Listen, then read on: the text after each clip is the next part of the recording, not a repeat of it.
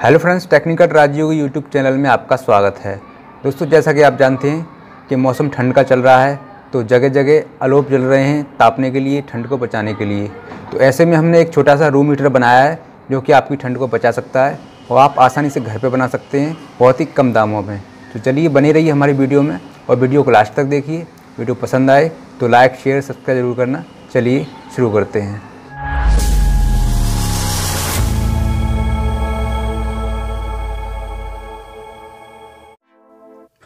तो फ्रेंड्स सबसे पहले हम एक पुरानी ट्यूबलाइट की फंटी ले लेंगे, जो कि अपने घरों में आसानी से मिल जाती है। और अगर आपको नहीं मिलती है तो पुरानी मार्केट से अभी ले सकते हैं, जो कि कबाड़ी की दुकान से मिल जाएगी। तो चलिए इसकी जो रिपिट हैं, इसको हम ग्राइंडर की मदद से घिस लेते हैं।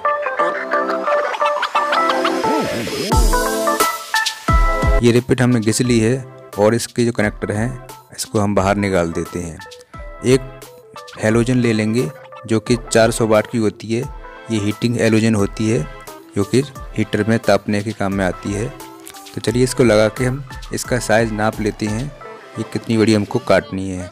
तो इतना हमने साइज़ नाप लिया है और इस पर हम मार्कर से निशान लगा देंगे और उसके बाद इसको काट देंगे। तो हमने इसको काट लिया है और ये इसका साइज़ यहाँ पर फिट आया है। यहाँ पर हम निशान लगा लेंगे कुछ इस तरीके का। और इसमें दोनों तरफ़ छेद कर देंगे। तो छेद कर देते हैं। तो हमने छेद कर दिए हैं इसमें और इसमें रिपीट लगा के इसको इसके अंदर फिक्स कर देंगे। तो चलिए हम इसमें रिपीट लगा देते हैं, जो कि मार्केट में आसानी से एक रुपये की मिल जाएगी। तो चलिए इसको रिपीट लगा के और इसको इसमें फिट कर देते हैं।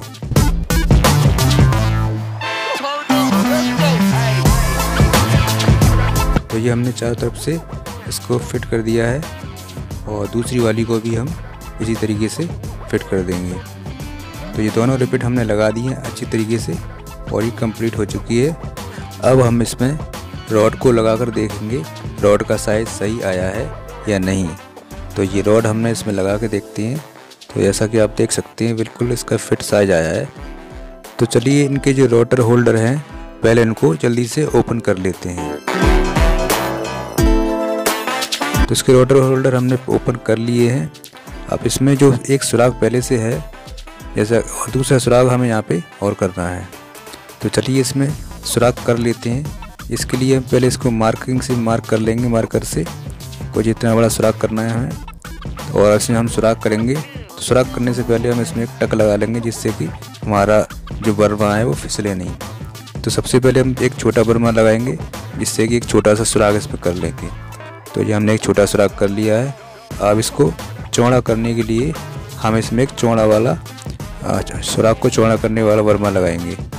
तो ये हमने इसको चौड़ा लगा के और इसको चौड़ा कर लिया है। तो जैसा कि आप देख सकते हैं, ये इतना चौड़ा हो गया है जिस, जितना इसमें तार आसानी से जा सके। तो ये एक एम mm का हम तार ले लेंगे, एक मीटर का, और उसमें से आधा आधा मीटर हम यूज़ करेंगे, जिसमें से एक तार को छोटा रखेंगे। एक को बड़ा रखेंगे। तो ये यहाँ पर हमने काट दिया है इसको। और जैसा कि आप देख सकते हैं, एक छोटा तार है और एक बड़ा तार है। इससे क्या हुआ कि हम एक साइड से तार निकालेंगे तो उसमें एक छोटा और एक बड़ा तार की ज़रूरत पड़ेगी। तो चलिए इसमें स्लिप चढ़ा लेते हैं। ये स्लिप हमारे पास चार एम की स्लिप है, जो कि मार्केट में आसानी से पाँच रुपये की मिल जाती है। तो चलिए ये कंप्लीट हो चुकी हैं और इसको जल्दी से इनके कनेक्टर में फिट कर लेते हैं। तो ये रोटर होल्डर के कनेक्टर हैं इसमें दे, देख सकते हैं आप कि ये वाला पॉइंट है ये और ये ये दोनों पत्तियाँ हैं इन दोनों में करंट रहेगा। तो हमें किसी इन दोनों को आपस में जॉइंट करना है। जॉइंट करने के लिए एक जुगाड़ अभी बनाएँगे हम जो कि आप अभी देखेंगे। तो सबसे पहले पहले हम इसको कनेक्ट कर लेते हैं वायरिंग से। तो ये हमने इसमें काले तार दोनों एक एक साइड में कनेक्ट कर लिए हैं और स्लिप को ऊपर चढ़ा दिया है।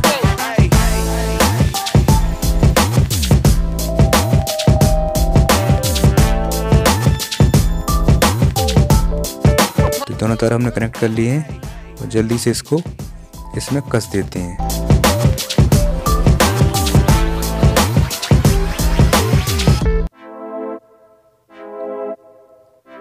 तो दोनों रोटो होल्डर हमने कस दिए हैं और ये कुछ इस तरीके से हमारा बन चुका है।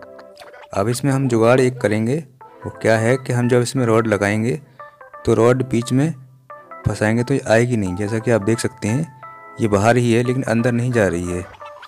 तो इसके लिए हम एक जुगाड़ बनाएँगे कि वो जुगाड़ है कि हम जो कटर होता है, कटर को दोनों तरफ़ से घिस देंगे कटर से, जैसा कि आप देख सकते हैं। तो इसको हम ऑन करेंगे और ये थोड़ा थोड़ा दोनों तरफ़ से इसको चपटा कर लेंगे घिस के।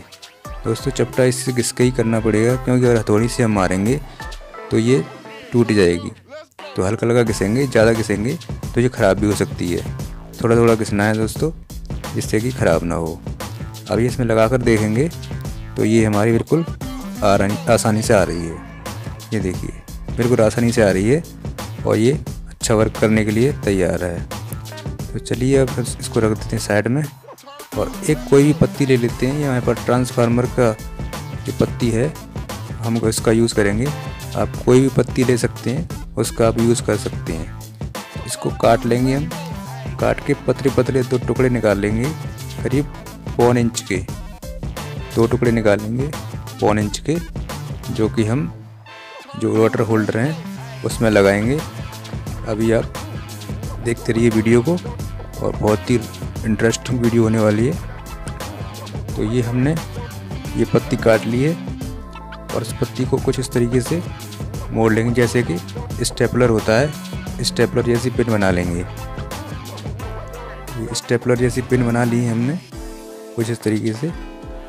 अब इसको हम जो अंदर जो पत्तियाँ हैं रोटर होल्डर के अंदर, उसके ऊपर लगा देंगे इसको। कुछ इस तरीके से। लेकिन दोस्तों इसमें एक काम और करना है। इसके अंदर हम जो एल्युमिनियम की वायर होता है, ये वाला, इसको डाल देंगे कुछ इस तरीके से। इससे क्या होगा, जब हम रॉड लगाएँगे तो ये पत्ती पिचकेगी नहीं। तो ये ज़रूर लगा लें आप, एक टुकड़ा इसमें लगा लें और एक टुकड़ा दूसरी वाले में भी लगा लें।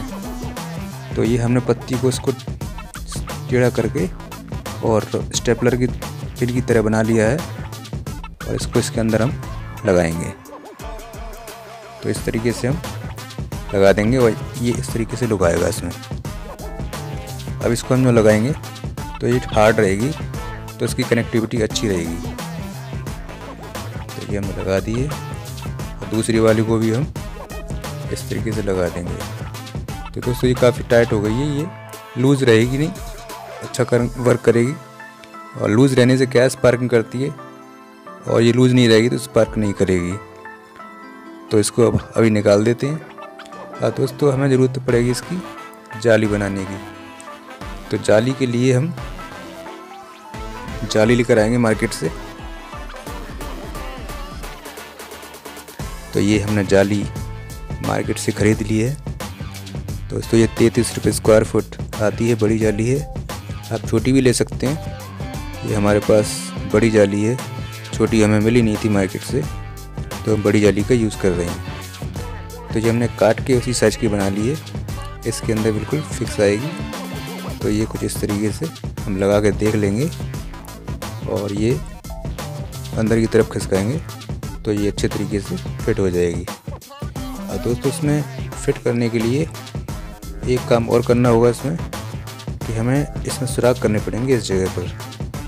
चारों कोनों पर एक एक सुराख कर देंगे। जल्दी से हम सुराख कर देते हैं।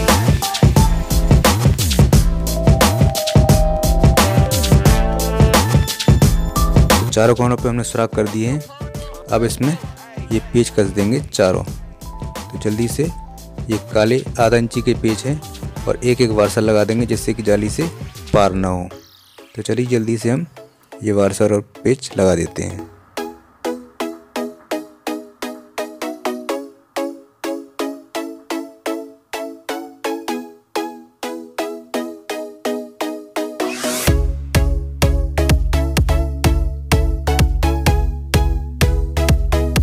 तो ये हमने पेच लगा दिए कंप्लीट हो गया है।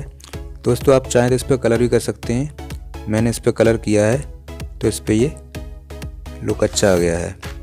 जैसा कि आप देख सकते हैं, पीला कलर कर दिया है, बहुत अच्छा लुक दे रहा है ये। आप चाहे तो कोई सा भी कलर कर सकते हैं। ये केसिंग में लगाने वाली टी है। इसको यहाँ लगाने से क्या है, ये तार बाहर नहीं निकलेंगे, एक साइड में दबे रहेंगे। तो ये हमारा कंप्लीट हो गया है, बन के तैयार हो गया है।